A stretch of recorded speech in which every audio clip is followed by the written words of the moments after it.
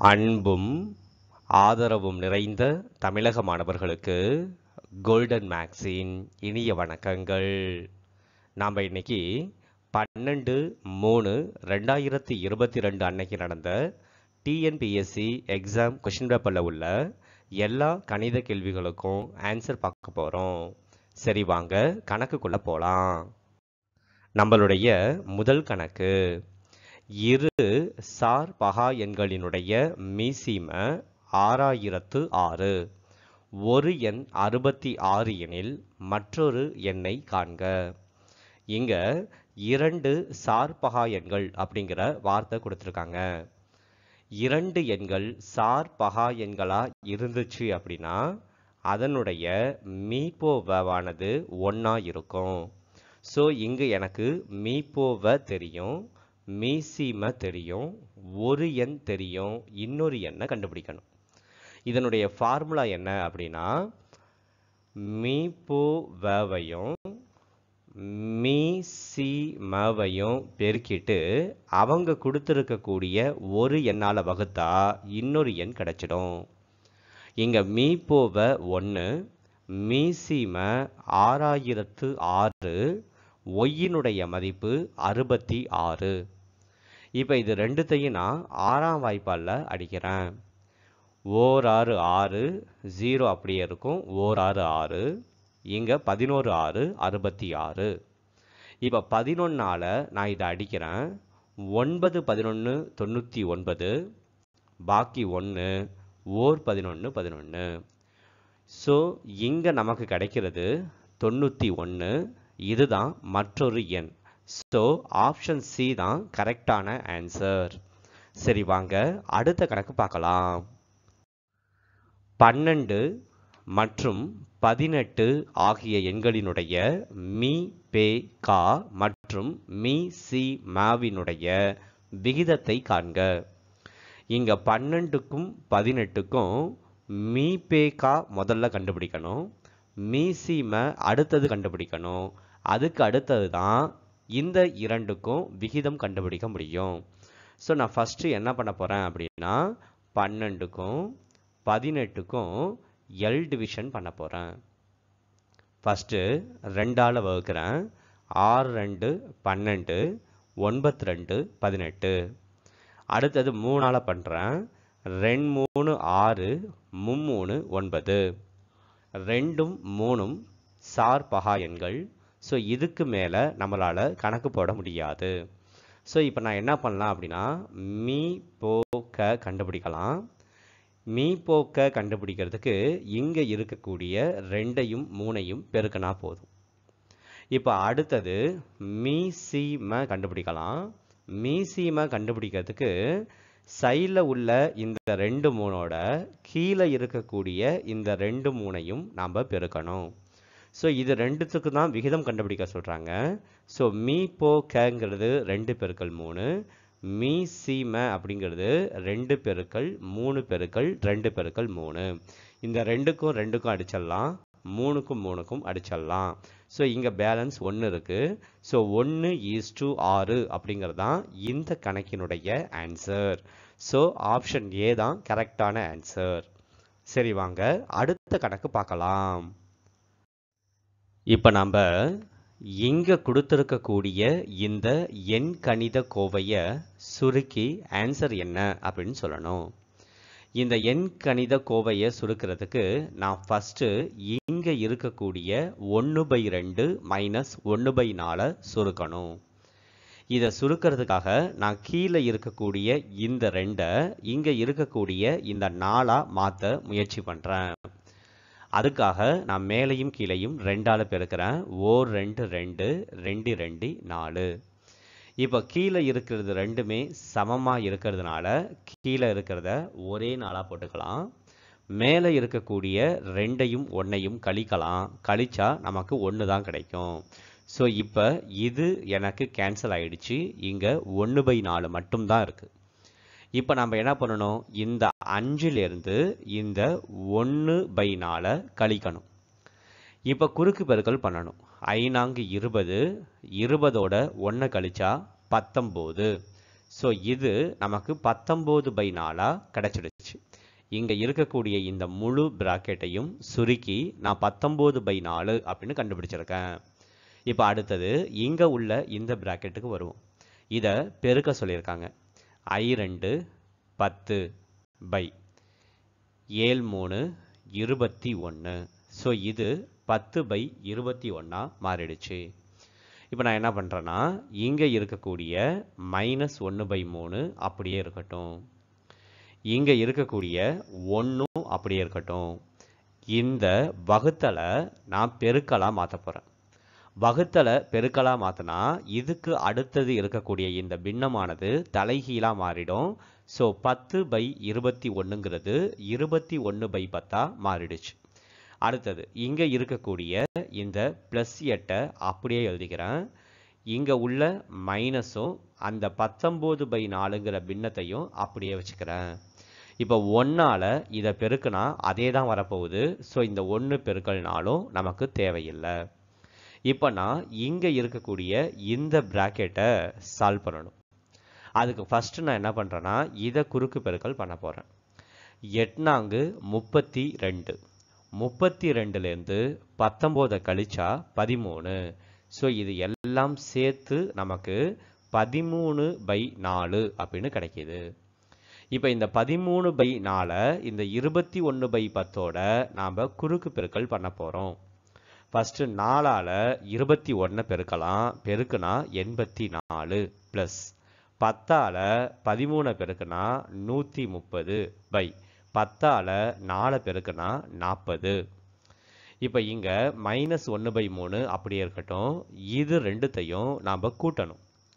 கூட்டுனா நமக்கு கிடைக்கிறது இருநூற்று பதினாலு. ஸோ இருநூற்று பதினாலு பை நாற்பது இப்போ திரும்ப நான் குறுக்கு பெருக்கல் பண்ண போகிறேன் குறுக்கு பெருக்கல் பண்ணுறதுக்கு முன்னாடி இது ரெண்டுத்தையுமே ரெண்டால் கேன்சல் பண்ணலாம். ஸோ முதல்ல கேன்சல் பண்ணிக்கலாம். இது நூற்றி ஏழு வரும். இங்கே இருபது வரும். இப்போ குறுக்கு பெருக்கல் பண்ணுறேன் ஓர் இருபது இருபது. மூணால் நூற்றி ஏழை பெருக்கணும். பெருக்குனா முந்நூற்று இருபத்தி ஒன்று பை. மூணால் இருபதை பெருக்குனா அறுபது. இப்போ மைனஸில் இருக்கிற ரெண்டுத்தையும் நாம் கூட்டணும். முந்நூற்றி நாற்பத்தி ஒன்று பை அறுபது கிடைக்கிது. இப்போ நான் இதை அடிக்கணும். மேலே இருக்கிறத முந்நூறுன்னு வச்சுக்கிட்டா அறுபது அப்படிங்கிறது அஞ்சு வாட்டி வரும். பேலன்ஸ் நாற்பத்தி ஒன்று இருக்குது ஸோ நாற்பத்தி ஒன்று பை அறுபதுங்கிறது அப்படியே இருக்கட்டும். ஸோ இங்கே மைனஸ் அஞ்சு நாற்பத்தி ஒன்று பை அறுபது ஆப்ஷன் ஏ தான் கரெக்டான ஆன்சர் சரி வாங்க. அடுத்த கணக்கு பார்க்கலாம். இந்த கணக்குலையும் சுருக்க சொல்லியிருக்காங்க. ஆனால் இங்கே எண் கோவை கொடுக்காம இயற்கணித கோவை கொடுத்துருக்காங்க. இந்த இயற்கணித கோவையை சுருக்கணும் அப்படின்னா நாம் முதல்ல இங்கே இருக்கக்கூடிய இந்த இருபடி சமன்பாட்டை காரணிப்படுத்தணும். ஸோ எக்ஸ் ஸ்கொயர் ப்ளஸ் மூணு எக்ஸ் ப்ளஸ் ரெண்டு அப்படிங்கிற இதையும் எக்ஸ் ஸ்கொயர் மைனஸ் ரெண்டு எக்ஸ் மைனஸ் மூணு அப்படிங்கிற இதையும் முதல்ல நான் காரணிப்படுத்தணும். ஃபஸ்ட்டு நான் என்ன பண்ணிக்கிறேன் அப்படின்னா எக்ஸ் ஸ்கொயர் ப்ளஸ் மூணு எக்ஸ் ப்ளஸ் ரெண்டு. இதை காரணிப்படுத்த போகிறேன் இங்கே லாஸ்ட் நம்பர் என்ன இருக்குது ரெண்டு. இங்கே இருக்கிற நம்பர் என்ன இருக்குது மூணு. அப்போ பெருக்குனா ரெண்டு வரணும் கூட்டுனா மூணு வரணும். எப்படி வரும்? ரெண்டையும் ஒன்னையும் பெருக்கி பார்த்தீங்கன்னா ரெண்டு வரும் கூட்டி பார்த்தீங்கன்னா மூணு வரும். ஸோ இதை காரணிப்படுத்தினா எக்ஸ் ப்ளஸ் ரெண்டு எக்ஸ் ப்ளஸ் ஒன்று அப்படின்னு காரணிப்படுத்தலாம். இப்போ அதே போல் எக்ஸ் ஸ்கொயர் மைனஸ் ரெண்டு எக்ஸ் மைனஸ் மூணு இங்கே பெருக்குனா மைனஸ் மூணு வரணும் கூட்டுனா மைனஸ் ரெண்டு வரணும். எப்படி வரும் அப்படின்னா மைனஸ் மூணையும் ஒன்னையும் பெருக்கி பாருங்க. மைனஸ் மூணையும் ஒன்னையும் பெருக்குனா மைனஸ் மூணு அதே சமயத்தில் கூட்டுனா மைனஸ் ரெண்டு கிடைக்கும். ஸோ இதை எக்ஸ் மைனஸ் மூணு எக்ஸ் ப்ளஸ் ஒன்றுன்னு எழுதலாம். ஸோ இப்போ இதை நான் மாற்றி எழுத போகிறேன் மேலே உள்ள எக்ஸ் ப்ளஸ் ரெண்டு அப்படியே இருக்கட்டும். கீழே உள்ள எக்ஸ் ஸ்கொயர் ப்ளஸ் மூணு எக்ஸ் ப்ளஸ் ரெண்டுக்கு பதிலாக நான் கண்டுபிடிச்ச எக்ஸ் ப்ளஸ் ரெண்டு எக்ஸ் ப்ளஸ் ஒன்னை எடுத்து எழுதிக்கிறேன்.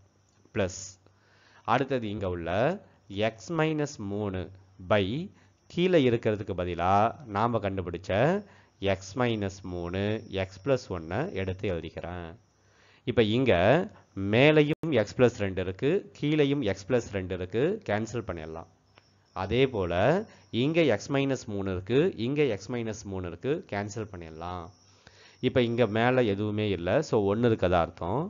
இங்கே எக்ஸ் ப்ளஸ் ஒன்று இங்கேயும் எக்ஸ் ப்ளஸ் ஒன்று கீழே இருக்கிறது சமமாக இருக்கிறதுனால ஒரே எக்ஸ் ப்ளஸ் ஒன்னாக எழுதிக்கிறேன். இப்போ மேலே இருக்கிற ஒன்னையும் ஒன்னையும் கூட்டினா என்ன கிடைக்கும்? ரெண்டு கிடைக்கும். ஸோ ரெண்டு பை எக்ஸ் ப்ளஸ் ஒன்று ஆப்ஷன் சி தான் இந்த கணக்கினுடைய ஆன்சர் சரி வாங்க. அடுத்த கணக்கு பார்க்கலாம்.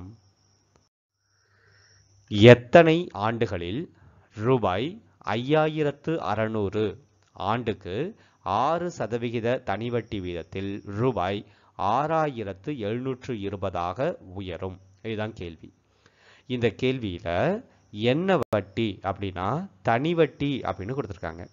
ஸோ தனி வட்டியில் ஆண்டு கண்டுபிடிக்கிறதுக்கான formula N equal to hundred I by P R இங்கே ஹண்ட்ரட் அப்படிங்கிறது அப்படியே இருக்கட்டும். ஐ அப்படிங்கிறது வட்டி தொகையை குறிக்குது. இங்கே அவங்க ஆறாயிரத்தி எழுநூற்று இருபதாக உயரும் அப்படின்னு சொல்லியிருக்காங்க. ஆனால் அசல் எவ்வளவு? ஐயாயிரத்து அறநூறு. ஸோ இது ரெண்டுத்தையும் கழித்தா நமக்கு கிடைக்கக்கூடியது வட்டி. ஸோ வட்டி தொகை ஆயிரத்து நூற்று இருபது பை. பீனா அசல் ஐயாயிரத்து அறநூறு. ஆர் அப்படிங்கிறது வட்டி விகிதம் ஆறு சதவிகிதம். இப்போ இங்கே உள்ள ரெண்டு ஜீரோவுக்கு இங்கே உள்ள ரெண்டு ஜீரோவை நான் கேன்சல் பண்ணிக்கிறேன். ஐம்பத்தி ஆறை ரெண்டால பெருக்குனா நூற்று பன்னெண்டு வரும். இங்கே உள்ள ஜீரோவை அப்படியே மேலே போட்டுக்கிறேன். இப்போ இருபதை ஆறால் வகுக்கணும். நான் ஃபஸ்ட்டு ரெண்டால் வகுக்கிறேன். பைத் ரெண்டு இருபது மூவி ரெண்டு ஆறு. இப்போ பத்தை மூணால வகுக்கணும். மும்மூணு ஒன்பது பாக்கி ஒன்று ஸோ ஒன்று பை மூணு. அப்போ இங்கே நமக்கு லாஸ்ட்டாக கிடைக்கிறது மூணு ஒன்று பை மூணு ஆண்டுகள். ஸோ இந்த கணக்கினுடைய ஆன்சர் ஆப்ஷன் சி சரி வாங்க. அடுத்த கணக்கு பார்க்கலாம். ஒரு குறிப்பிட்ட தொகையானது எட்டு சதவிகித வட்டி விகிதத்தில் ஐந்து ஆண்டுகளில் பத்தாயிரத்து எண்பதாக ஆகிறது. அசலை காண்க. இங்க தனி வட்டி அப்படிங்கிற வார்த்தையோ அல்லது கூட்டு வட்டி அப்படிங்கிற வார்த்தையோ பயன்படுத்தவே இல்லை. இப்படி பயன்படுத்தாமல் கணக்கு கொடுத்துருக்காங்க அப்படின்னா அதை நாம் தனி வட்டியாக எடுத்துக்கிட்டு தான் கணக்கு போடணும். தனி வட்டியில கூட்டுத்தொகை கண்டுபிடிக்கிறதுக்கான formula P one plus R N by hundred equal to A இங்கே பி தான் நம்ம கண்டுபிடிக்க வேண்டியது. ஸோ அசல் தொகை அப்படியே இருக்கட்டும். ஒன் ப்ளஸ் ஆர் அப்படிங்கிறது வட்டி விகிதம் எட்டு சதவிகிதம். என் அப்படிங்கிறது ஆண்டுகள் ஐந்து ஆண்டுகள் பை நூறு ஈக்குவல் டு ஏ அப்படிங்கிறது கூட்டுத்தொகை பத்தாயிரத்து எண்பது இப்போ என்ன பண்ணுறேன் அப்படின்னா இங்கே உள்ள ஐந்தால இங்கே உள்ள நூறு அடிக்கிறேன் இருபது வாட்டி வரும். அடுத்தது இங்கே உள்ள எட்டையும் இங்கே உள்ள இருபதையும் நாலால் அடிக்கிறேன் ரெண்டாங்கு எட்டு ஐநாங்கு இருபது. இப்போ இதை குறுக்கு பெருக்கல் பண்ணலாம். ஓர் அஞ்சு அஞ்சு அஞ்சையும் ரெண்டையும் கூட்டுனா ஏழு. ஆக மொத்தம் இந்த ப்ராக்கெட் முழுக்க நமக்கு ஏழு பை அஞ்சு அப்படின்னு மாறிடுச்சு. இப்போ இங்கே இருக்கக்கூடிய ஏழு பை அஞ்சு ஈக்குவல்ட்டுக்கு அந்த பக்கம் போணுச்சு அப்படின்னா தலைகீழாக மாறிடும். ஸோ ஏழு பை அஞ்சு அப்படிங்கிறது அஞ்சு பை ஏழாக மாறிடுச்சு. இப்போ இந்த ஏழால் இதை நான் அடிக்க போகிறேன் ஓர் ஏழு ஏழு பாக்கி மூணு ஏழு நான்கு இருபத்தி எட்டு பாக்கி ரெண்டு ஏழு நான்கு இருபத்தி எட்டு ஜீரோ அப்படியே மேலே போட்டுக்கலாம். இப்போ இந்த ஆயிரத்தி நானூற்றி நாற்பதை ஐந்தால் பெருக்கணும். பெருக்குனா ஏழாயிரத்து இருநூறு கிடைக்கும். ஸோ அசல் அப்படிங்கிறது ஏழாயிரத்து இருநூறு ரூபாய். ஆப்ஷன் பி தான் இந்த கணக்கினுடைய ஆன்சர் சரி வாங்க அடுத்த கணக்கு பார்க்கலாம். ஒரு திண்ம அரைக்கோளத்தினுடைய அடிப்பக்க பரப்பு ஆயிரத்து முன்னூற்று எண்பத்தி ஆறு சதுர மீட்டர் எனில் அதன் மொத்த புறப்பரப்பை காண்க. இங்க திண்ம அரைக்கோளத்தின் அடிப்பக்க பரப்பு கொடுத்துருக்காங்க. திண்ம அரைக்கோளத்தினுடைய அடிப்பக்கம் வட்டமாக இருக்கும். ஸோ இவங்க கொடுத்துருக்கிறது வட்டத்தினுடைய பரப்பளவு அதாவது pi r square pi r ஸ்கொயரினுடைய மதிப்பை தான் ஆயிரத்து முந்நூற்று எண்பத்தி ஆறுன்னு கொடுத்துருக்காங்க. கண்டுபிடிக்க சொல்றது மொத்த புறப்பரப்பு. திண்ம அரைக்கோளத்தினுடைய மொத்த புறப்பரப்பினுடைய formula three pi r square இல்லை த்ரீ அப்படி இருக்கட்டும். இந்த பை ஆர் ஸ்கொயருக்கு பதிலாக நான் இந்த ஆயிரத்து முந்நூற்று எண்பத்தி ஆறை எடுத்து எழுதிக்கலாம். ஸோ மூணால் ஆயிரத்தி முந்நூற்று எண்பத்தி ஆறை பெருக்குனா நாலாயிரத்து நூற்று ஐம்பத்தி எட்டு கிடைக்கும். ஸோ இந்த கணக்கினுடைய ஆன்சர் நாலாயிரத்து நூற்று ஐம்பத்தி எட்டு. இங்கே இந்த எண் பாருங்க ரெண்டு இடத்துல இருக்குது அவங்க கேட்டிருக்கிறது புற பரப்பு. பரப்பு அப்படின்னா நாம் ஸ்கொயரில் எழுதணும் கன அளவு அப்படின்னா கியூபில் எழுதணும். ஸோ கியூபில் இருக்கிறது ஆன்சர் கிடையாது. ஸோ ஸ்கொயரில் இருக்கிற ஆப்ஷன் பி தான் இந்த கணக்கினுடைய சரியான ஆன்சர் சரி வாங்க. அடுத்த கணக்கு பார்க்கலாம். ஒரு செவ்வகத்தினுடைய மூளைவிட்டம் ரூட் நாற்பத்தி ஒன்று சென்டிமீட்டர் மற்றும் அதன் பரப்பு இருபது சதுர சென்டிமீட்டர் எனில் செவ்வகத்தினுடைய சுற்றளவு என்ன?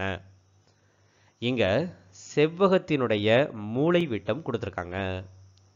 செவ்வகத்தினுடைய மூளைவிட்டம் கண்டுபிடிக்கிறதுக்கான formula root of L square plus B square so இதனுடைய மதிப்பு தான் இங்கே நாற்பத்தி ஒன்றுன்னு கொடுத்துருக்காங்க. இதில் இந்த ரூட்டும் இந்த ரூட்டையும் நம்ம கேன்சல் பண்ணிடலாம். கேன்சல் பண்ணிட்டா நமக்கு எல் ஸ்கொயர் ப்ளஸ் பி ஸ்கொயரினுடைய மதிப்பு நாற்பத்தி ஒன்றுன்னு கிடச்சிடும். அதுக்கு அடுத்தது செவ்வகத்தினுடைய பரப்பு கொடுத்துருக்காங்க. செவ்வகத்தினுடைய பரப்பு கண்டுபிடிக்கிறதுக்கான formula L into B L into பியினுடைய மதிப்பு இருபது. அடுத்தது என்ன கண்டுபிடிக்க சொல்கிறாங்கன்னா செவ்வகத்தினுடைய சுற்றளவு கண்டுபிடிக்க சொல்கிறாங்க செவ்வகத்தின் சுற்றளவு கண்டுபிடிக்கிறதுக்கான ஃபார்முலா ரெண்டு into L plus B so நாம் இதனுடைய அளவு தான் என்னன்னு கண்டுபிடிக்கணும். இப்போ எனக்கு இங்கே எல் பிளஸ் பியினுடைய அளவு தெரிஞ்சிடுச்சு அப்படின்னா ஈஸியாக நான் ஆன்சர் கண்டுபிடிச்சிடலாம். ஸோ அதை கண்டுபிடிக்கிறதுக்காக நான் L plus B the whole square அப்படிங்கிற ஃபார்முலாவை எடுத்துக்கிறேன்.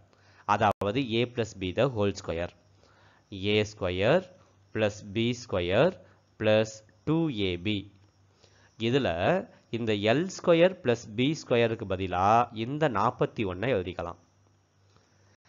இந்த எல் பிக்கு பதிலாக இங்கே உள்ள இருபதை எழுதிக்கலாம்.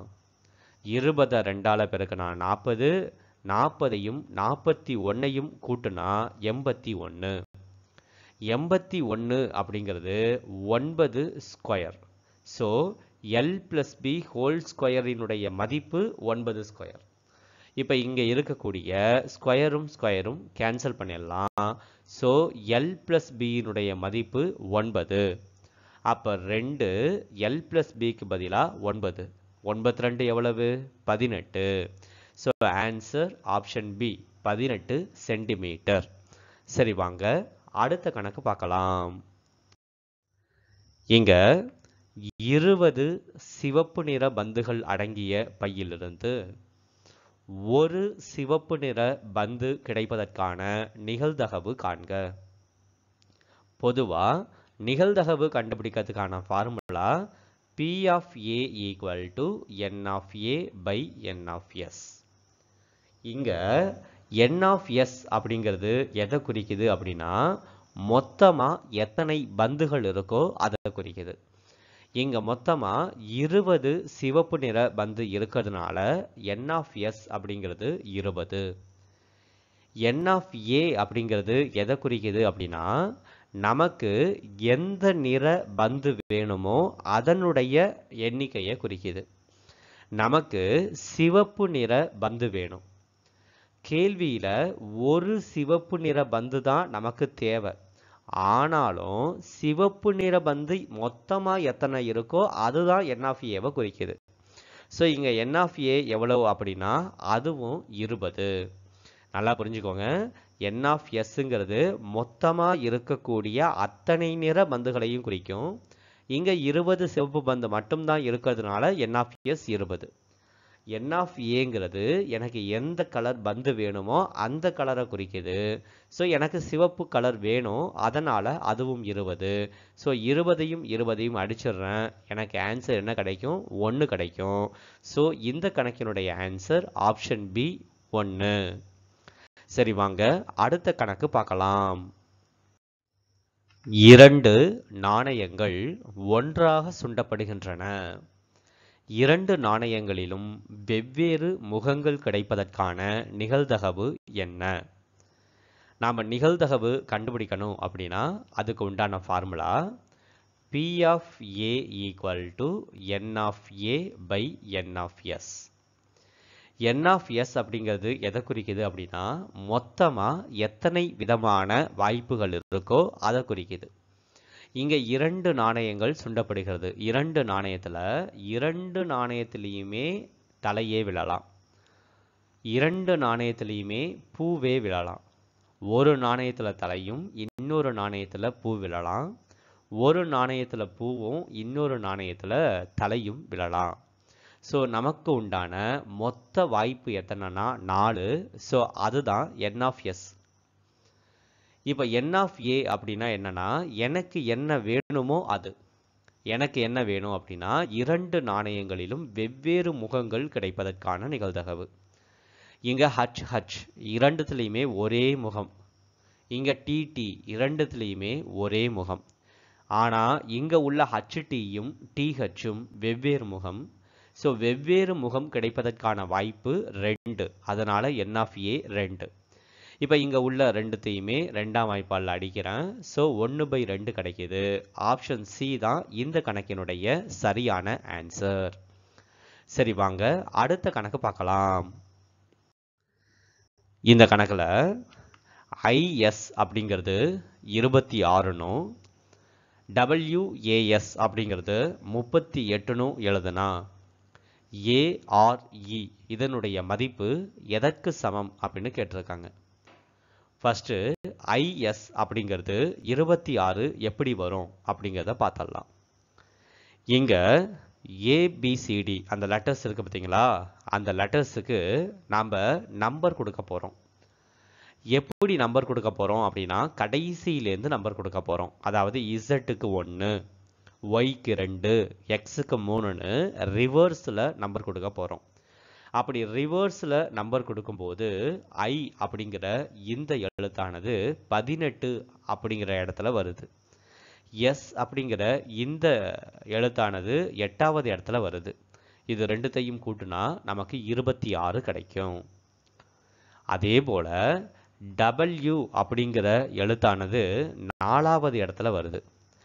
ஏ அப்படிங்கிற எழுத்தானது இருபத்தி ஆறாவது இடத்துல வருது.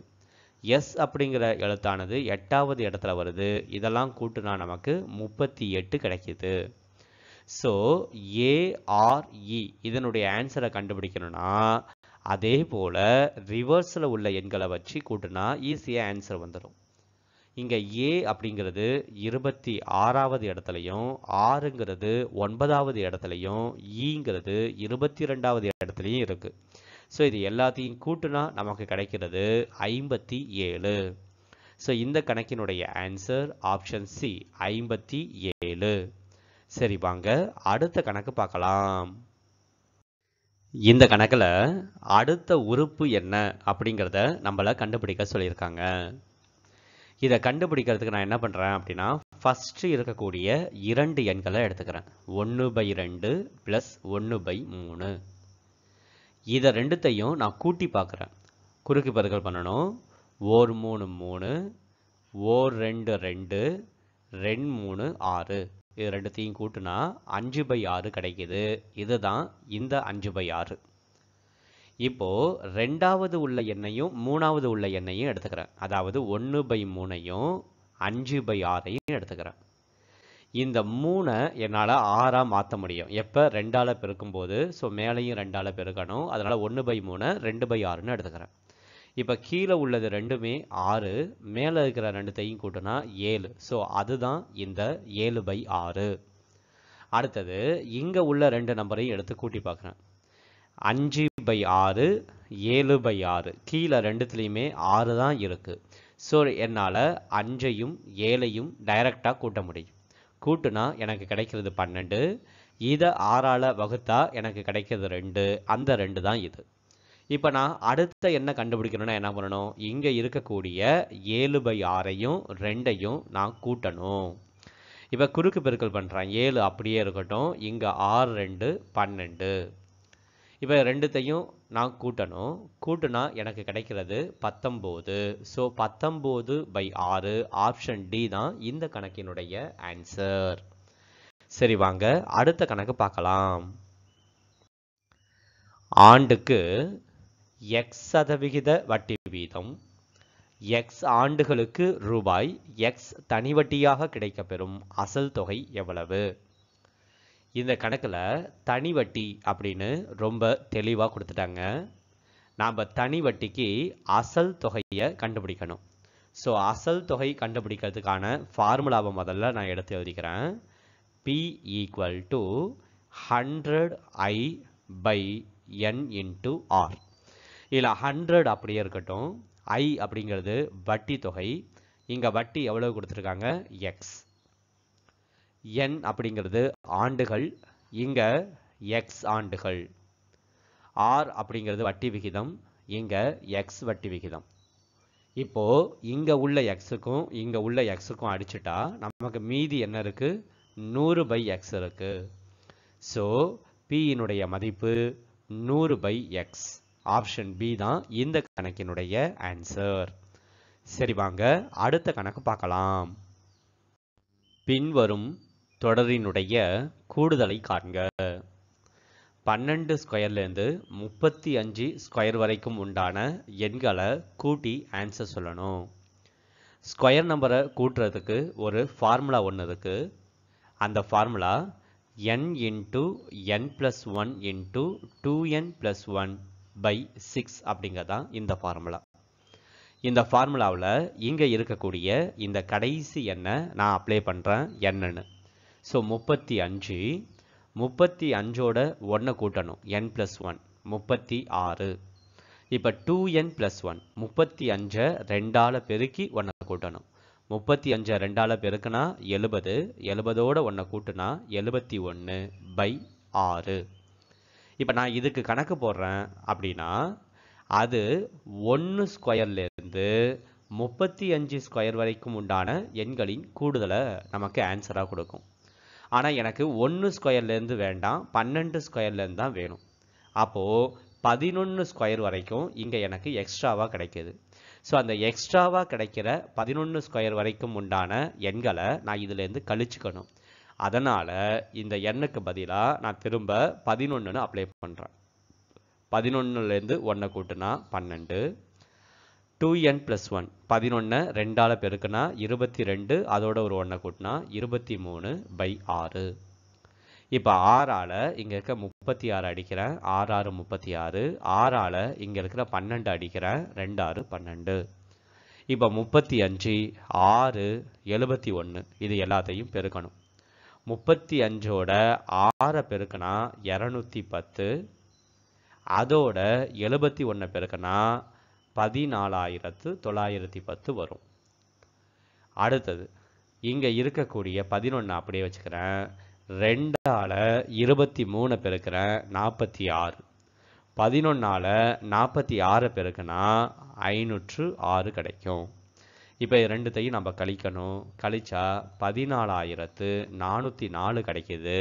ஸோ இந்த கணக்கினுடைய ஆன்சர் ஆப்ஷன் ஏ பதினாலாயிரத்து நானூற்றி நாலு. சரி வாங்க அடுத்த கணக்கு பார்க்கலாம். அறநூறினுடைய எக்ஸ் சதவிகிதமானது நானூற்று ஐம்பது எனில் எக்ஸினுடைய மதிப்பு என்ன? இந்த கேள்வியில் அறநூறு அப்படிங்கிற நம்பருக்கு எக்ஸ் சதவிகிதம் கண்டுபிடிக்கிறாங்க. அப்படி கண்டுபிடிச்சா வரக்கூடிய ஆன்சர் நானூற்று ஐம்பது.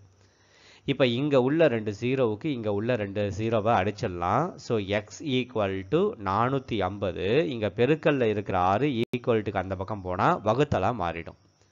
இப்போ இதை நம்ம அடிக்கணும். ஏழாறு நாற்பத்தி ரெண்டு பாக்கி மூணு முப்பது ஏழஞ்சு முப்பது. ஸோ எக்ஸினுடைய மதிப்பு எழுபத்தி அஞ்சு. ஸோ ஆப்ஷன் ஏ தான் இந்த கணக்கினுடைய ஆன்சர் சரி வாங்க. அடுத்த கணக்கு பார்க்கலாம். நானூற்றி எட்டு நூற்று எழுபது என்ற எண்களினுடைய மீ பெரு பொது வகுத்தியை காண்க. மீ பெரு பொது வகுத்தி கண்டுபிடிக்கணும் அப்படின்னா நானூற்றி எட்டுக்கும் நூற்று எழுபதுக்கும் நாம் முதல்ல டானா வகுத்தல் பண்ணணும். இங்கே நானூற்றி எட்டு நூற்று எழுபது இது ரெண்டுத்தையுமே நான் ரெண்டால் வகுக்க போகிறேன் ரெண்டு ரெண்டு நாலு ஜீரோ அப்படியே இருக்கட்டும் நாலு ரெண்டு எட்டு. இங்கே எட்டு ரெண்டு பதினாறு ஐ ரெண்டு பத்து. இப்போ இந்த இரண்டுமே பதினேழாம் வாய்ப்பாட்டில் வரும். பன்னெண்டு பதினேழு இரநூத்தி நாலு. அஞ்சு பதினேழு எண்பத்தி அஞ்சு. பன்னெண்டும் அஞ்சும் ஒரே வாய்ப்பாட்டில் வராது. ஸோ மீ பெரு பொது வகுத்தி வேணும் அப்படின்னா இங்கே இருக்கக்கூடிய ரெண்டையும் பதினேழையும் பெருக்கணும். பெருக்குனா நமக்கு கிடைக்கிறது முப்பத்தி நாலு. ஸோ ஆப்ஷன் பி தான் இந்த கணக்கினுடைய ஆன்சர் சரி வாங்க அடுத்த கணக்கு பார்க்கலாம். இருபத்தி ஒன்று எக்ஸ் ஸ்கொயர் ஒய் முப்பத்தி அஞ்சு எக்ஸ் ஒய் ஸ்கொயர் இவற்றினுடைய மீ பெரு பொது வகுத்தியை நாம் கண்டுபிடிக்கணும். இதுக்கு மீ பெரு பொது வகுத்தி கண்டுபிடிக்கணும் அப்படின்னா முதல்ல இதில் உள்ள நம்பர்ஸை எடுத்துக்கணும். இந்த நம்பர்ஸை டானா வகுத்தல் பண்ணணும். நான் ஃபஸ்ட்டு இந்த நம்பரை ஏழாம் வாய்ப்பால் அடிக்கிறேன்.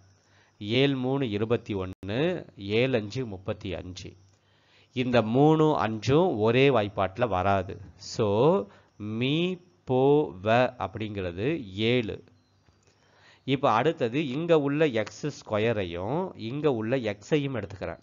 இது ரெண்டுக்கும் மீப்போவை கண்டுபிடிக்கணும். இது ரெண்டுக்கும் மீப்போவை கண்டுபிடிக்கணும்னா இது ரெண்டுத்தில் எது சின்னதோ அதுதான் மீப்போவை ஸோ எக்ஸ் ஸ்கொயரை விட எக்ஸ் சின்னது அதனால் எக்ஸ் எடுத்துக்கிறேன். அடுத்தது இங்கே உள்ள ஒய்யையும் இங்கே உள்ள ஒய் ஸ்கொயரையும் எடுத்துக்கிறேன். இது ரெண்டுத்தில் எது சின்னது? ஒய் சின்னது.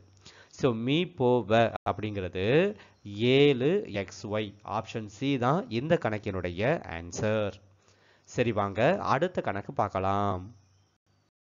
கீழ்கண்டவற்றுள் மிக பெரிய விகிதத்தை காண்க. இங்க நான்கு விகிதங்கள் கொடுத்துருக்காங்க. இந்த நான்கு விகிதத்தில் எந்த விகிதம் மிகப்பெரிய விகிதம் அப்படின்னு நம்ம கண்டுபிடிக்கணும்.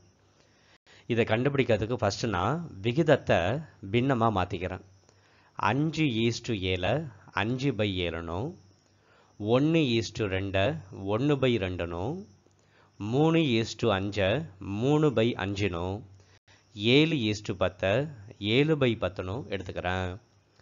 இப்போ இந்த பின்னத்தில் கீழே இருக்கக்கூடிய எண்கள் எல்லாத்தையும் சமமாக மாற்றிட்டோம் அப்படின்னா நம்ம ஈஸியாக ஆன்சர் கண்டுபிடிச்சிடலாம். ஸோ நான் கீழே இருக்கிற எண் எல்லாத்தையுமே எழுபதாக மாற்ற முயற்சி பண்ணுறேன் ஸோ இங்கே நான் மேலேயும் கீழையும் பத்தால் பெருக்கிக்கிறேன். ஐம்பது பை எழுபது. இங்கே நான் மேலேயும் கீழையும் முப்பத்தி அஞ்சால் பெருக்கிக்கிறேன். பெருக்கிக்கிட்டால் முப்பத்தி அஞ்சு பை எழுபது. இங்கே மேலேயும் கீழையும் பதினாலால் நான் பெருக்கிக்கிறேன். மூணு பதினாலு நாற்பத்தி ரெண்டு பதினஞ்சு பதினாலு எழுபது. இங்கே மேலேயும் கீழையும்னா ஏழால் பெருக்கிக்கிறேன் ஏழையில் நாற்பத்தொம்போது பை எழுபது. இப்போ கீழே இருக்கக்கூடிய எழுபது அப்படிங்கிறது நமக்கு தேவையில்லை. மேலே இருக்கக்கூடிய எண்களில் எது பெரிய எண் அப்படின்னு பார்த்தீங்கன்னா ஐம்பது தான் பெரிய எண். இந்த ஐம்பது எதுலேருந்து வந்துச்சு? அஞ்சு ஈஸ்டு ஏழுலேருந்து வந்துச்சு. ஸோ அஞ்சு ஈஸ்டு ஏழு அப்படிங்கிறது தான் இங்கே உள்ள விகிதத்திலேயே மிகப்பெரிய விகிதம். ஸோ ஆப்ஷன் ஏ தான் இந்த கணக்கினுடைய ஆன்சர் சரி வாங்க அடுத்த கணக்கு பார்க்கலாம். ஆயிரம் ஈஸ்டு பத்து equal to X is to ஒன்று பை ஆயிரம் எனில் எக்ஸினுடைய மதிப்பை காண்க. நம்ம போன கணக்கில் போட்ட மாதிரி இங்கே விகிதத்தில் கொடுத்துருக்காங்களே இந்த விகிதத்தை நான் பின்னமாக மாற்றி எழுதிக்கிறேன். ஆயிரம் ஈஸ்டு பத்தை ஆயிரம் பை பத்தணும் எக்ஸ் ஈஸ்டு ஒன்று பை ஆயிரத்தை எக்ஸ் பை ஒன்று பை ஆயிரம்னு மாற்றி எழுதிக்கிறேன். இப்போ இங்கே உள்ள ஜீரோவுக்கும் இங்கே உள்ள ஜீரோவுக்கும் அடிச்சிடலாம். இங்கே இருக்கக்கூடிய ஒன்று பை ஆயிரம் வகுத்தலில் இருக்குது இது ஈக்குவல்ட்டுக்கு அந்த பக்கம் போனால் பெருக்கல்ல மாறிடும். ஸோ ஒன்று பை ஆயிரம் பெருக்கல் நூறு ஈக்குவல் டு எக்ஸ்னு வந்துடும் இங்கே உள்ள ரெண்டு ஜீரோவுக்கு இங்கே உள்ள ரெண்டு ஜீரோவை அடிச்சிடலாம். ஸோ எக்ஸினுடைய மதிப்பு ஒன்று பை பத்து. ஸோ ஆப்ஷன் பி தான் இந்த கணக்கினுடைய ஆன்சர் சரி வாங்க. அடுத்த கணக்கு பார்க்கலாம். பத்து சதவிகித ஆண்டு வட்டியில். ஆண்டுக்கு ஒரு முறை வட்டி கணக்கிடப்பட்டால் மூன்று ஆண்டுகளில் டேஸ் என்ற அசலானது ரூபாய் இரண்டாயிரத்து அறுநூற்று அறுபத்தி ரெண்டு தொகையாக மாறும். இந்த கேள்வியில் காம்பவுண்டட் ஆன்வலி அப்படின்னு கொடுத்துருக்காங்க. அதாவது கூட்டு வட்டி அப்படின்னு இதனுடைய அர்த்தம். ஸோ இந்த கணக்குக்கு நாம் கூட்டு வட்டியினுடைய கூடுதல் கண்டுபிடிக்கக்கூடிய ஃபார்முலாவை பயன்படுத்தணும். P one plus R by hundred whole power N equal to A அப்படிங்கிறது தான் இந்த ஃபார்முலா இதில் பி அப்படிங்கிறது தான் நாம் கண்டுபிடிக்கணும். ஆர் அப்படிங்கிறது பத்து சதவிகிதம் ஸோ பத்து பை நூறு. என் அப்படிங்கிறது மூன்று ஆண்டுகள். கூட்டுத்தொகையானது இரண்டாயிரத்து அறநூற்று அறுபத்தி ரெண்டு இங்கே உள்ள ஒரு ஜீரோவுக்கு ஒரு ஜீரோவை அடிச்சிடலாம். இப்போ குறுக்கு பெருக்கல் பண்ணுறேன் ஓர் பத்து பத்து பத்தோட ஒன்றை கூட்டுனா பதினொன்று ஸோ இது பதினொன்று பை பத்து ஹோல் கியூப் ஈக்குவல் டு இரண்டாயிரத்தி அறநூற்று அறுபத்தி ரெண்டு இப்போது பியை தான் நான் கண்டுபிடிக்கணும். இரண்டாயிரத்தி அறநூற்றி அறுபத்தி ரெண்டு அப்படியே இருக்கட்டும். இங்கே இருக்கக்கூடிய பதினொன்று பை பத்து ஈக்குவல்ட்டுக்கு அந்த பக்கம் போனால் பத்து பை பதினொன்னாக மாறிடும். இங்கே ஹோல் கியூப் இருக்கிறதுனால நான் மொத்தம் மூணு தடவை இந்த பத்து பை பதினொன்றை எழுதிக்கிறேன். இப்போது பதினொன்றாம் வாய்ப்பாட்டில் நான் அடிக்கணும். பதினொன்றாம் வாய்ப்பாட்டில் நான் இதை அடிக்கிறேன். ரெண்டு பதினொன்று இருபத்தி ரெண்டு பாக்கி நாலு நாற்பத்தி ஆறு நாலு பதினொன்று நாற்பத்தி நாலு பாக்கி ரெண்டு ரெண்டு பதினொன்று இருபத்தி ரெண்டு இப்போ திரும்ப நான் பதினொன்றாம் வாய்ப்பாடில் அடிக்கிறேன். ரெண்டு பதினொன்று இருபத்தி ரெண்டு பாக்கி ரெண்டு ரெண்டு பதினொன்று இருபத்தி ரெண்டு இப்போ பதினொன்றாம் வாய்ப்பாடில் அடித்தா ரெண்டு வாட்டி வரும். ஸோ பி ஈக்குவல் டு ரெண்டை பத்தால் பெருக்கினா இருபது திரும்ப பத்தால் பெருக்கினா இரநூறு திரும்ப பத்தால் பெருக்கினா ரெண்டாயிரம். ஸோ பியினுடைய மதிப்பு இரண்டாயிரம். ஆப்ஷன் ஏ தான் இந்த கணக்கினுடைய ஆன்சர் சரி வாங்க. அடுத்த கணக்கு பார்க்கலாம். ரூபாய் ஐநூறுக்கு எட்டு சதவிகித ஆண்டு வட்டியில் இரண்டு ஆண்டுகளுக்கு கூட்டு வட்டிக்கும் தனி வட்டிக்கும் இடையிலுள்ள வித்தியாசம் என்ன? இந்த கேள்வியில் இரண்டு ஆண்டுகளுக்கு கூட்டு வட்டிக்கும் தனி வட்டிக்கும் இடையில் உள்ள வித்தியாசம் கேட்டிருக்காங்க. இதுக்கு தனியாக ஒரு ஃபார்முலா இருக்குது P R by hundred whole square அப்படிங்கிறதா இந்த ஃபார்முலா இதில் பி அப்படிங்கிறது ஐநூறு ரூபாய் ஆர் அப்படிங்கிறது எட்டு சதவிகிதம். இங்கே ஹோல் ஸ்கொயர் இருக்குது ஸோ நான் எட்டு பை நூறை ரெண்டு வாட்டி எழுதிக்கிறேன். இங்கே உள்ள ரெண்டு ஜீரோவுக்கு ரெண்டு ஜீரோவை நான் முதல்ல கேன்சல் பண்ணிடுறேன். இப்போ இங்கே எட்டையும் அஞ்சையும் நான் பெருக்கிறேன். எட்டு அஞ்சு நாற்பது இன்னொரு எட்டு அப்படியே இருக்கட்டும். கீழே உள்ள நூறு அப்படியே இருக்கட்டும். இங்கே உள்ள ஒரு ஜீரோவுக்கு ஒரு ஜீரோவை அடிச்சிட்டேன். எட்நாங்கு முப்பத்தி ரெண்டு ஸோ முப்பத்தி ரெண்டு பை பத்து வருது. இதை அடித்தா நமக்கு மூணு புள்ளி ரெண்டு கிடைக்கும். ஸோ இரண்டு ஆண்டுகளில் கூட்டு வட்டிக்கும் தனி வட்டிக்கும் உண்டான வித்தியாசம் மூணு புள்ளி ரெண்டு அப்படிங்கிறது தான் கரெக்டான ஆன்சர் இங்கே முப்பத்தி ரெண்டு அப்படின்னு ஆன்சர் கொடுத்துருக்காங்க. இந்த முப்பத்தி ரெண்டு ஆன்சர் வரணும் அப்படின்னா இங்கே ஐநூறு இருக்கக்கூடாது ஐயாயிரம் இருக்கணும். ஒருவேளை இந்த ஐயாயிரத்தை வச்சு நம்ம கணக்கு போட்டு பார்ப்போம். ஐயாயிரம் எட்டு பை நூறு எட்டு பை நூறு. ரெண்டு ஜீரோவுக்கு ரெண்டு ஜீரோவை அடித்தாச்சு ஒரு ஜீரோவுக்கு ஒரு ஜீரோவை அடித்தாச்சு எட்டஞ்சு நாற்பது.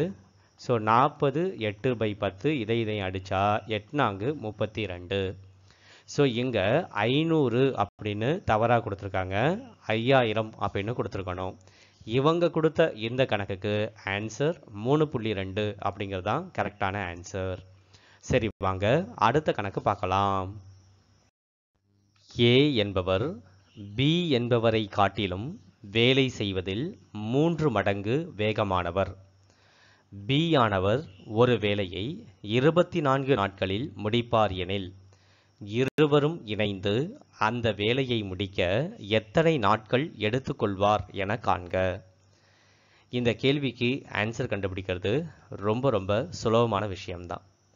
இங்க ஏ என்பவர் பி என்பவரை காட்டிலும் மூன்று மடங்கு வேகமானவர் அப்படிங்கிறது தான் நம்மளுடைய குழு நான் ஃபஸ்ட்டு என்ன பண்ணிக்கிறேன் அப்படின்னா இங்கே ஏ பி அப்படின்னு எடுத்துக்கிறேன்.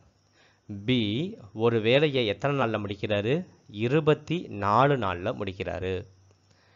இங்கே யார் திறமையானவர் அப்படின்னா ஏ தான் திறமையானவர். ஸோ பி முடிப்பதை காட்டிலும் ஏ ரொம்ப கம்மியாகவே அந்த வேலையை முடிச்சிடுவார். எவ்வளவு கம்மியாக மூன்று மடங்கு கம்மியாக அப்போ இருபத்தி நாலை நாம் மூணால் வகுக்கணும். எட் மூணு இருபத்தி நாலு. ஸோ ஏயானவர் எட்டு நாள்லையே அந்த வேலையை முடிச்சிடுவார்.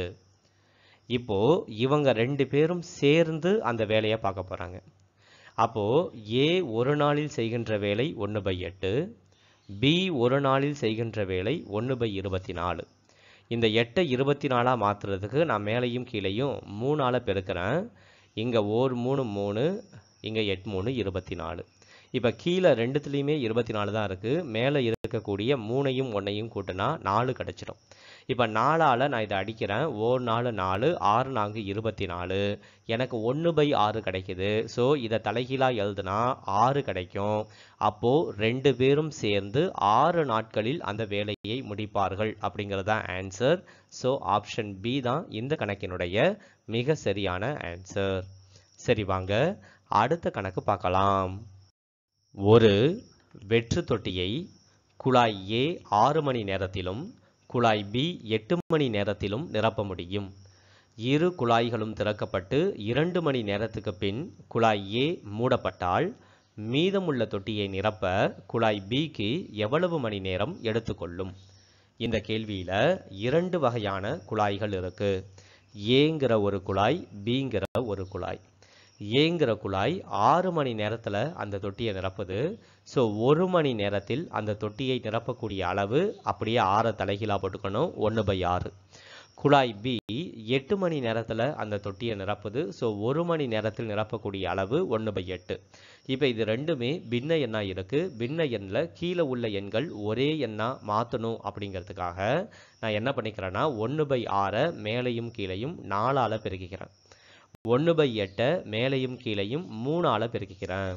இப்போ கீழே ரெண்டுமே இருபத்தி நாலாக இருக்குது இந்த இருபத்தி நாலு அப்படிங்கிறது மொத்த வேலையினுடைய அளவை குறிக்குது. மொத்தமாக நம்மக்கிட்ட இருபத்தி நாலு வேலை இருக்குது அதில் ஏங்கிற குழாய் ஒரு மணி நேரத்தில் செய்யக்கூடிய வேலையினுடைய அளவு நாலு. பிங்கிற குழாய் ஒரு மணி நேரத்தில் செய்யக்கூடிய வேலையினுடைய அளவானது மூணு. இவங்க ரெண்டு பேரும் சேர்ந்து ஒரு மணி நேரத்தில் ஏழு வேலையை முடிக்கிறாங்க. அதாவது நாலையும் மூணையும் கூட்டினா ஏழு. ஆக்சுவலாக ஒரு மணி நேரம் அவங்க வேலை பார்க்கல ரெண்டு மணி நேரம் வேலை பார்த்துருக்காங்க. அப்போ ரெண்டு மணி நேரம் அவங்க வேலை பார்த்தா ஒரு மணி நேரத்துக்கு ஏழு வேலையை முடிக்கிறாங்க. இன்னொரு மணி நேரத்துக்கு ஏழு வேலையை முடிச்சிருப்பாங்க. ஆக மொத்தம் ரெண்டு பேரும் சேர்ந்து பதினாலு வேலையை முடிச்சிருக்காங்க. மொத்தமாக இருந்த வேலை எவ்வளோ? இருபத்தி நாலு வேலை. இருபத்தி நாலு வேலையில் பதினாலு வேலை முடிஞ்சிடுச்சு. மீதி இருக்கக்கூடிய வேலை பத்து வேலை. இந்த பத்து வேலையை ஏ செய்யலை. யார் தான் செய்ய போகிறா பி மட்டும்தான் செய்ய போகிறா பி ஒரு மணி நேரத்தில் எவ்வளோ வேலை செய்வார்? மூணு வேலை செய்வார். ஆனால் இங்கே இருக்கிறது பத்து வேலை. ஸோ பத்தை நாம் மூணால் வகுக்கணும். மும்மூணு ஒன்பது பாக்கி ஒன்று ஸோ மூணு ஒன்று பை மூணு மணி நேரத்தில் பி அந்த வேலையை முடிப்பார். ஸோ ஆப்ஷன் டி தான் இந்த கணக்கினுடைய ஆன்சர் சரி வாங்க. அடுத்த கணக்கு பார்க்கலாம். ஏ முதல் என் வரையிலான ஆங்கில எழுத்துக்கள் முறையே பதினாலு முதல் ஒன்று வரை குறிக்கப்படுகிறது. ஆங்கில எழுத்து ஜீரோ என்பது பூஜ்ஜியத்தில் குறிக்கப்படுகிறது. மேலும் பி முதல் இசட் வரையிலான ஆங்கில எழுத்துக்கள் மைனஸ் ஒன்று முதல் மைனஸ் பதினொன்று வரையிலான முழு எண்களால் குறிக்கப்பட்டால் சக்சஸ் என்ற ஆங்கில வார்த்தையில் உள்ள எழுத்துக்களை குறிக்கும் முழு எண்களின் கூடுதல் காண்க. இந்த கேள்வியில் ஃபஸ்ட்டு நாம் எண்களை ஏபிசிடி லெட்டரில் குறிக்கணும். அதுக்காக நான் இந்த ஏபிசிடியை எடுத்துக்கிறேன். இதில் இங்கே பார்த்தீங்கன்னா ஏங்கிறது பதினாலு எண்ணுங்கிறது ஒன்று ஸோ நான் எண்ணிலேருந்து எழுத ஆரம்பிக்கிறேன். ஒன்று ரெண்டு மூணு நாலு அஞ்சு ஆறு ஏழு எட்டு ஒன்பது பத்து பதினொன்று பன்னெண்டு பதிமூணு பதினாலு. ஓங்கிறத அவங்க ஜீரோன்னு வச்சுக்கிறாங்க. இப்போ இங்கே உள்ள எண்ணெலாம் மைனஸ் எழுதணும்.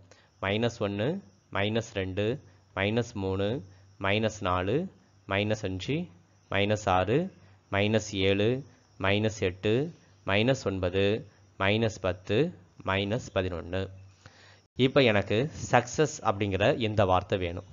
இதில் எஸ்ஸினுடைய மதிப்பு என்ன? எஸ்ஸினுடைய மதிப்பு மைனஸ் நாலு. ஸோ நான் எக்ஸுக்கு பதிலாக மைனஸ் நாலை எடுத்துக்கிறேன். ப்ளஸ் அடுத்தது யூ யூவுக்கு பதிலாக இங்கே உள்ளது மைனஸ் ஆறு.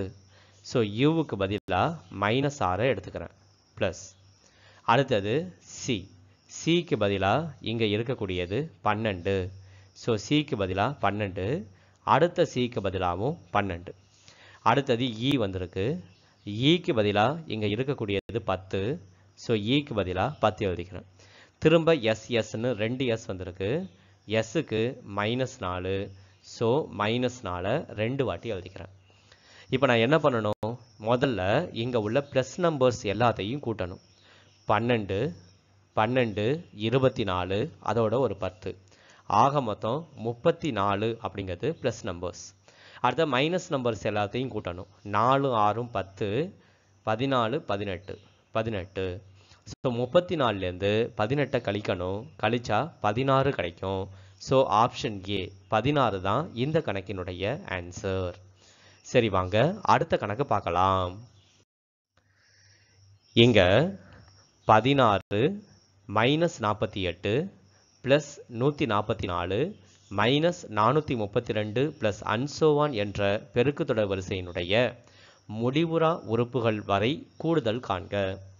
பெருக்குத்தொடர் வரிசையில் முடிவுறா உறுப்புகளை கூட்டணும் அப்படின்னா அதுக்கு ஒரு ஃபார்முலா இருக்குது அந்த formula A by one minus R இதுதான் அந்த ஃபார்முலா இதில் ஏங்கிறது இங்கே இருக்கக்கூடிய முதல் எண்ணை குறிக்குது. ஸோ ஏவுக்கு பதிலாக பதினாறு பை ஒன் மைனஸ் ஆர் அப்படிங்கிறது இரண்டாவது எண்ணிலிருந்து முதல் எண்ணை வகுத்து வரக்கூடிய ஆன்சர் இங்கே இரண்டாவது எண்ணானது மைனஸ் நாற்பத்தி எட்டு முதல் எண்ணானது பதினாறு.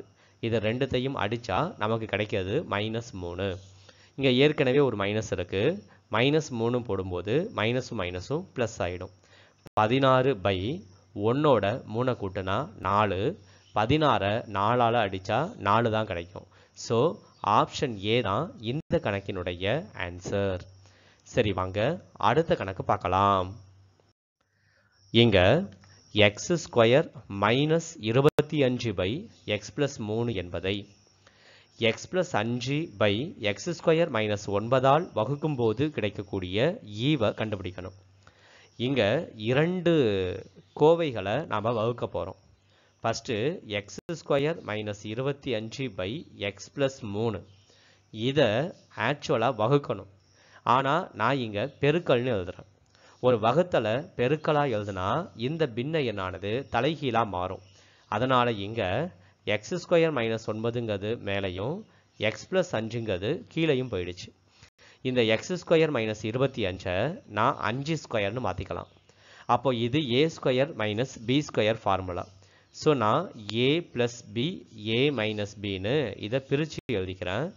கீழே எக்ஸ் ப்ளஸ் மூணு இருக்குது அதே போல் இந்த ஒன்பதை மூணு ஸ்கொயர்னு மாற்றிக்கலாம் அப்போ இதையும் A plus B A minus பின்னு நம்மளால் பிரித்து எழுத முடியும். கீழே எக்ஸ் ப்ளஸ் அஞ்சு அப்படியே இருக்குது இங்கே உள்ள எக்ஸ் ப்ளஸ் அஞ்சு எக்ஸ் ப்ளஸ் அஞ்சும் கேன்சல் ஆகிடும் இங்கே உள்ள எக்ஸ் ப்ளஸ் மூணு எக்ஸ் ப்ளஸ் மூணும் கேன்சல் ஆகிடும் ஸோ மீதி இருக்கிறது எக்ஸ் மைனஸ் அஞ்சு எக்ஸ் மைனஸ் மூணு.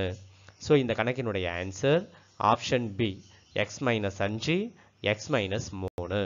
சரி வாங்க. அடுத்த கணக்கு பார்க்கலாம். இந்த கணக்கில் நிறைய எண்கள் கொடுத்துருக்காங்க. இந்த எண்களுக்கு அடுத்து வரக்கூடிய எண் என்ன அப்படிங்கிறத நாம் கண்டுபிடிக்கணும்.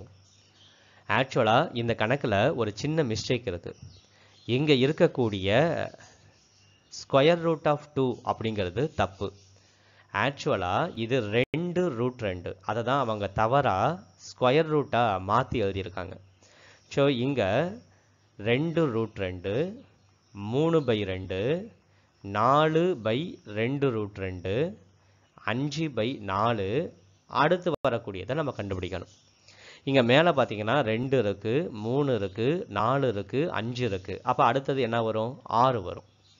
அதே போல் கீழே ரூட் ரெண்டை ரூட் ரெண்டாலேயே பெருக்குனா நமக்கு கிடைக்கக்கூடியது இந்த ரெண்டு. இந்த ரெண்டை ரூட் ரெண்டால் பெருக்குனா எனக்கு கிடைக்கக்கூடியது ரெண்டு ரூட் ரெண்டு. இந்த ரெண்டு ரூட் ரெண்டை ரூட் ரெண்டாலேயே நான் பெருக்கிறேன். அப்படி பெருக்கும்போது ரூட் ரெண்டையும் ரூட் ரெண்டையும் பெருக்குனா ரெண்டு ரெண்டையும் ரெண்டையும் பெருக்குனா நாலு. ஸோ இந்த நாலு கிடைச்சிரும். இப்போ இந்த நாளை நான் ரூட் ரெண்டால் பெருக்கணும். அப்படி பெருக்கினா எனக்கு கிடைக்க போகிறது நாலு ரூட் ரெண்டு.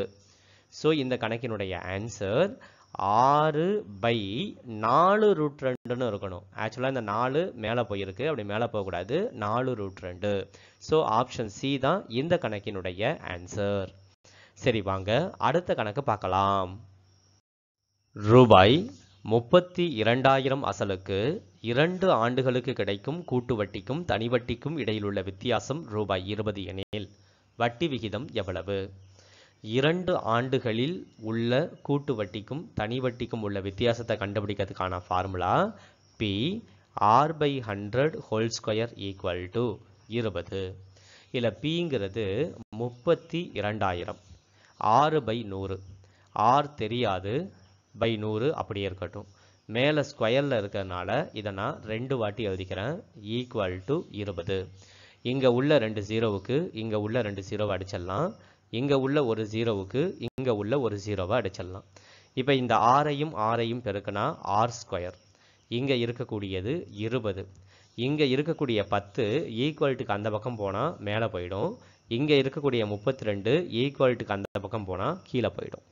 இப்போ ரெண்டுத்தையும் நான் அடிக்கிறேன். ரெண்டாம் வாய்ப்பால் அடிக்கிறேன். இது பைத் ரெண்டு இருபது. இங்கே அடிக்கிறேன். பதினாறு ரெண்டு முப்பத்தி ரெண்டு இப்போ திரும்ப இதை நான் ரெண்டாம் வாய்ப்பாலே அடிக்கிறேன். ஐ ரெண்டு பத்து இங்கே எட்டு ரெண்டு பதினாறு. திரும்ப அடிக்கிறேன். ஐ ரெண்டு பத்து இங்கே நாலு ரெண்டு எட்டு. இப்போ இது ஆர் ஸ்கொயர். இங்கே ரெண்டு அஞ்சு இருக்குது ஸோ இதை அஞ்சு ஸ்கொயர்னு எழுதலாம். இந்த நாளை ரெண்டு ஸ்கொயர்னு எழுதலாம். ஸோ இதை அஞ்சு பை ரெண்டு ஹோல் ஸ்கொயர்னு எழுதிக்கிறேன். ஸ்கொயரும் ஸ்கொயரும் கேன்சல் ஆகிடு அப்போ ஆறினுடைய மதிப்பு வேணும்னா அஞ்சை ரெண்டால் வகுக்கணும். ரெண்டு ரெண்டு நாலு பாக்கி ஒன்று ஸோ ரெண்டு ஒன்று பை ரெண்டு சதவிகிதம். ஆப்ஷன் பி தான் இந்த கணக்கினுடைய ஆன்சர் இவ்வளோதாங்க இந்த கொஷின் பேப்பரில் இருக்கக்கூடிய எல்லா கணக்குகளுமே ரொம்ப எளிமையான கணக்குகளாக தான் இருந்துச்சு. இந்த கணக்குகளை நீங்கள் தொடர்ந்து ப்ராக்டிஸ் பண்ணுறது மூலயமா கண்டிப்பாக உங்களுடைய ஃப்யூச்சர் எக்ஸாமுக்கு ரொம்ப ரொம்ப பயன்படும். இந்த வீடியோ உங்களுக்கு பிடிச்சிருந்துச்சி அப்படின்னா ஒரு லைக் பண்ணுங்கள் உங்களுடைய நண்பர்களுக்கும் இந்த வீடியோவை ஷேர் பண்ணுங்கள் இதே போன்ற ரெகுலரான வீடியோ உங்களுக்கு கிடைக்கணும் அப்படின்னா மறக்காமல் நம்மளுடைய சேனலை சப்ஸ்கிரைப் பண்ணுங்கள் மீண்டும் உங்களை அடுத்த வீடியோவில் சந்திக்கிறேன். அதுவரை நன்றி வணக்கம்.